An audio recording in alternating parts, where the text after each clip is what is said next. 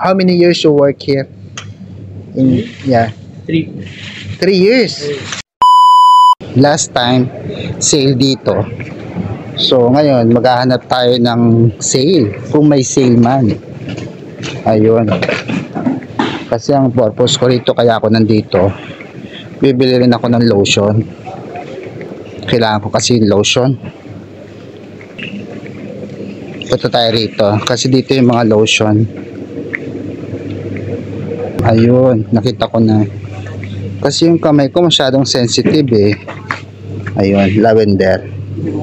Bili lang tayo ng isa. Bibili na rin tayo ng favorite ko syempre. Ito yung hinahanap ko kasi actually. Ito ang kailangan ko. Then kuha tayo ng minced beef.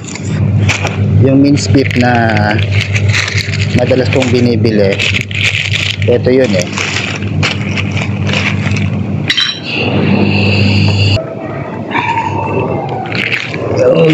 Na.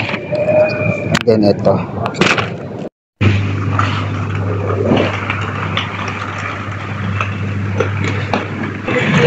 Ano tayo ng fish? So, ito yung mga seafoods nila guys. Ayan, meron silang, hindi ko alam kung tambakol to or what. Mahalang kilo. So, ayan, yun lang sila. So, ito yung luya niya. Oh, so, meron ako isang luya doon. Dagdagan na lang natin.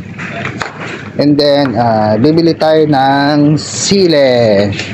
Where's the chili, brother? Chile, where's the chile? Ano ba yan? Wala mga stop dito. Ayun.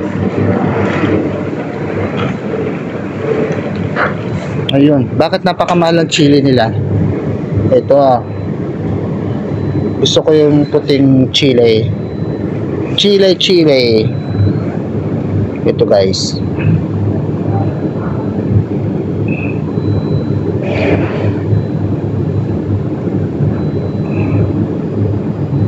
Ayaw kasi na masyadong green. Kasi yung puti, yun ang medyo ano siya, ah, hindi siya gaano maanghang. So, doon tayo sa puti. Masyadong malalaki yung sili nila.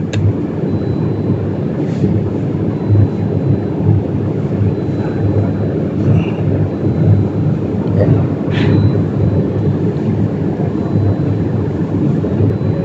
Ayun, ito na.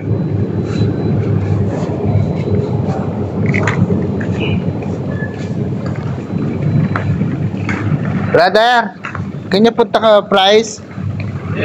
This one. You have plastic bag?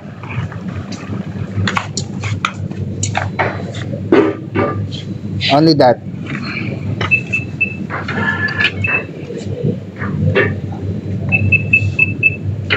One hundred ten fields? Okay. Okay, thank you.